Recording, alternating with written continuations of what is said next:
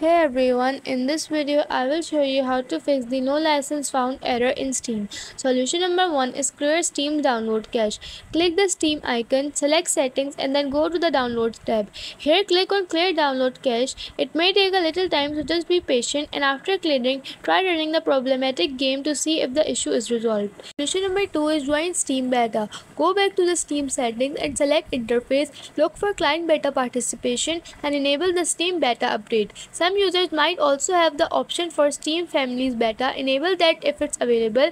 Once you enable it, wait for a few moments and then check if this resolves the issue. Number 3 is download necessary DLL files. Open your browser and click the latest build link and save the file to your desktop for easy access.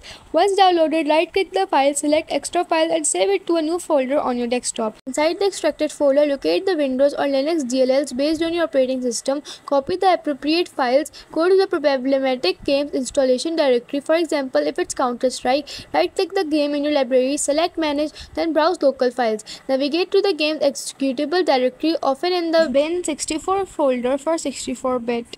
Paste the DLL files into the same folder as the game's executable file. Solution number 4 is Restart Steam. Restarting Steam can ensure all changes are applied. Right-click on the Steam in the taskbar and select Exit Steam. Reopen Steam and that's it. I hope this video helped you solve the no license found error on Steam.